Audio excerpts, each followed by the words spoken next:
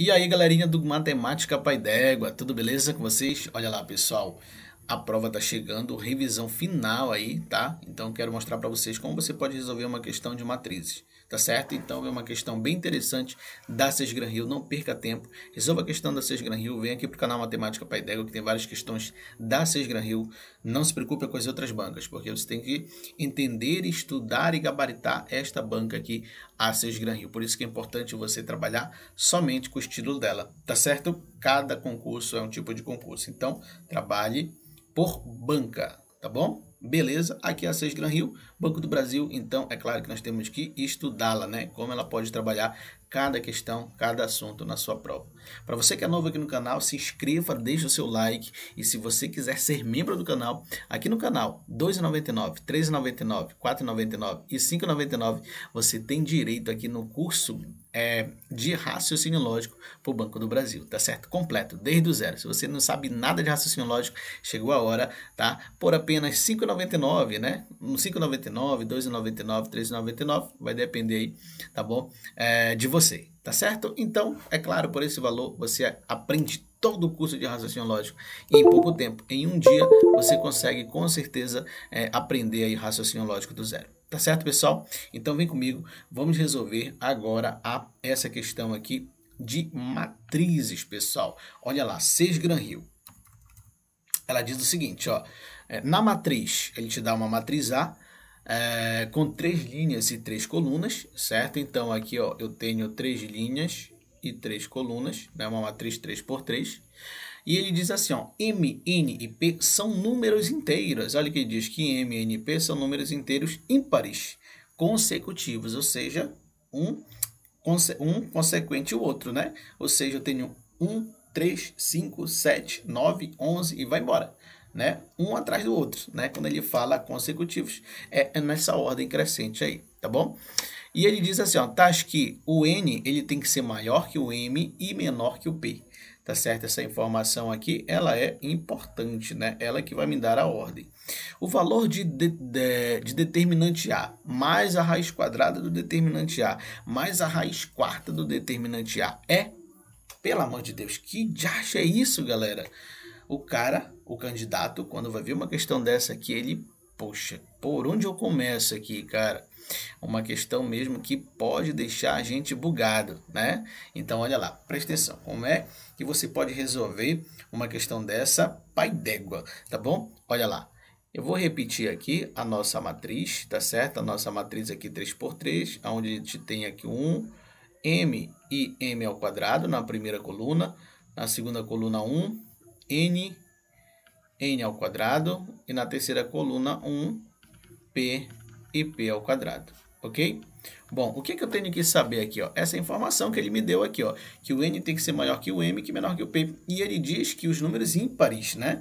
Que os números ímpares têm que ser o quê? Consecutivo. Então, eu posso pegar qualquer número ímpar consecutivo, eu consigo chegar no meu resultado, tá bom? Então, é claro que eu vou pegar os valores mais simples, né? Vou pegar aqui o 1, o 3 e o 5. Vamos dizer que o 3, ele é o n, o m é o 1, e o 5 é o P. Vamos ver se está na ordem, né? Ó, o N, ele é maior que 1? Sim. O N, ele é menor que P? Sim. Ó. O 3 é menor que 5, mas é maior que 1. O 3, beleza? Então, perfeito. Está na nossa condição aqui, né? E se está na nossa condição, segundo enunciado, então vamos substituir esses valores. Ó, substituindo esses valores, eu tenho o seguinte. Então, eu tenho 1. Quanto é o valor do M? 1. O valor de M, 1 ao quadrado. Aí eu tenho aqui, ó, 1. Aqui eu tenho n, que é 3. E aqui eu tenho n ao quadrado, 3 ao quadrado. Aqui eu tenho 1. Aqui eu tenho o p, que vale 5. E aqui 5 ao quadrado. Beleza? Desenvolvendo isso aqui, né? Estou fazendo passo a passo. Claro que dá para a gente fazer mais rápido isso aqui. Só que eu estou ensinando vocês aqui é, a estratégia, né? Então, eu tenho aqui, ó, 1, 1 e 1. Aqui eu tenho 1, 3 e 5. Aqui, ó, 1 ao quadrado é 1, 3 ao quadrado é 9 e 5 ao quadrado é 20, 25. Observa uma coisa, pessoal, quando eu quero achar o determinante e eu tenho uma matriz 3 por 3, eu vou trabalhar o que aqui, pessoal? Exatamente a regra de Sarrush, Né? Utilizando aqui ó, a regra de Sarrus, a regra de Sarrus, eu tenho o seguinte, eu vou repetir aqui, ó. Vou repetir, então vou colocar aqui, ó, 1, 1 e 1. Aqui, ó, 1, 3 e 9. Aqui eu tenho 1, 5 e 25. Da regra de Sarrus, pessoal, eu vou repetir a primeira e a segunda coluna. Você sabe, né, que aqui, ó, eu tenho a coluna 1, coluna 2 e coluna 3. Aqui eu tenho linha 1, linha 2 e linha 3. Ok? Então, eu tenho uma matriz 3 por 3 aqui. Então, vou repetir a primeira, ó, primeira e segunda coluna. Vou colocar bem aqui, ó. A primeira coluna, vou repetir ela, e a segunda coluna. Também eu vou repetir a segunda coluna. Pronto. Agora, pela regra de Sarrus, eu vou trabalhar o que, pessoal? Eu vou cruzar aqui as diagonais. Então, vou trabalhar aqui a diagonal secundária, ó, e vou trabalhar a diagonal, vou colocar aqui outra cor, vou trabalhar aqui a diagonal principal. Diagonal principal, ó, diagonal principal. Então, agora eu tenho que multiplicar. Você sabe que o determinante, ó, o determinante é exatamente a diagonal principal menos a diagonal secundária, certo? O determinante é a diagonal principal menos a diagonal secundária. Então, vou pegar essas diagonais e vou multiplicar e depois somar. Como assim, ó? Aqui, por exemplo, ó, a, a primeira diagonal aqui. Então, vou multiplicar. 1 vezes 3 é 3, 3 vezes 5, 75. Aqui, ó, 1 vezes 5 é 5, vezes 1, 5 também. Aqui, ó, 1 vezes 1 é 1, vezes 9 é 9. Beleza. Agora eu vou para a diagonal é, secundária. 1 vezes 3 vezes 1 dá 3. Aqui, ó, 9 vezes 5, 45. Vezes 1, 45. Aqui, ó, 25 vezes 1 vezes 1 vai dar 20, 25. Beleza. Aqui eu tenho exatamente o valor, né, de quem? Do meu determinante. Ó, que é a diagonal principal. Quem é a diagonal principal? 75 mais 5 mais 9 menos a diagonal secundária, que é quanto? 3 mais 45 mais 25. Ok? Então, vamos lá. Então, esse determinante é igual 75 mais 5, 80. Então, eu tenho 80, 89. Menos 45 mais 25 dá 70, né? 73 aqui, ó. 73. Então, determinante a é igual a 73, 83, 83, 20, 26, né? 20, 26 não, 16, né? 16. 16. Bom, achei o meu determinante. Tá certo? Observa agora o seguinte, pessoal. Vou apagar bem aqui, ó. Ainda não acabou a nossa conta, né? Deixa eu só tirar isso daqui. E eu vou trabalhar o que? O que ele me deu aqui, ó. Ele diz o que? Qual o valor do determinante de A? Ó? Qual o valor do determinante de A mais a raiz quadrada do determinante de A mais a raiz quarta do determinante A. Eu já sei que é um determinante A, é 16. Então, aqui vai ficar 16 mais a raiz quadrada de 16 mais a raiz quarta de 16. Então, aqui eu tenho 16 mais a raiz quadrada de 16 é 4. Mas a raiz quarta de 16 é a mesma coisa que eu fazer isso aqui, pessoal. Ó, por 2 aqui vai dar 8, por 2, 4, por 2, 2 e por 2, 1. Isso aqui é a mesma coisa que 2 a quarta.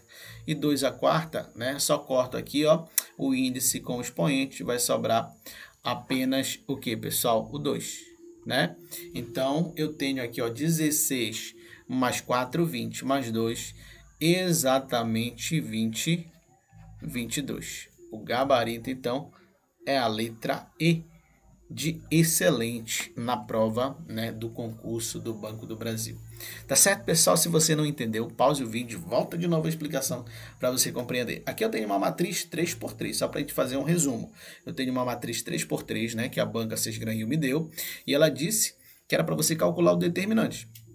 Ok? Se fosse uma matriz é, 2 por 2 não precisaria né, utilizar a regra de Sarrus, tá bom? Como é uma matriz 3 por 3 eu preciso utilizar a regra de Sarrus, tá certo? Para trabalhar diagonais principal e secundária. Bom, ele quer saber o valor do determinante A mais a raiz quadrada do determinante A mais a raiz quarta do determinante A. Então, o que eu fiz? Né? Se ele me disse que os números inteiros ímpares são consecutivos, então é nessa ordem. 1, 3, 5, 7, 9, 11 e assim por diante. É claro que eu peguei os valores menores, porque isso vai facilitar o quê? O meu, o meu, meu cálculo, claro, né? Então aqui, ó, ele diz que n é maior que m e menor que p, que isso aqui é importante também, na ordem, né? Então n é o 3, que é maior que 1, que é menor que o 5, que é o p, tá certo? Joguei aqui na, na matriz eu repeti a primeira e a segunda coluna para trabalhar o quê? Para trabalhar exatamente a regra de Sarrus, tá certo? Utilizando a regra de Sarrus, trabalhei com a diagonal principal e a diagonal secundária. Multipliquei, depois somei. O valor da diagonal é, principal deu 89, o valor da diagonal secundária deu 73. Subtraindo, de, eu consegui achar o determinante dessa, dessa, dessa matriz, que deu exatamente 16. E só substituir ali. É muito simples, porque quando você olha determinante de A, mas a raiz quadrada é determinante de A, mas a raiz quadrada é determinante de A, você fica preocupado. Mas quando você encontra o valor que é 16 e você joga ali dentro da raiz, aí fica fácil a conta, né? Porque o determinante de A mais a raiz quadrada de 16 é 4 e a raiz quadrada de 16 é 2, aí fica bem tranquilo. Por isso o gabarito é letra E, 22, tá certo? Aguarde aí até o próximo vídeo. Se Deus quiser, deixa aquele like, se inscreva no canal e compartilha aí, tá certo? Se você tem dúvida em algum assunto aí para o concurso do Banco do Brasil, deixa aqui no comentário que será o próximo vídeo para ajudar você aí e milhões de pessoas que vão fazer esse concurso. Aí. Valeu, grande abraço, até a próxima questão Pai d'Égua é nossa.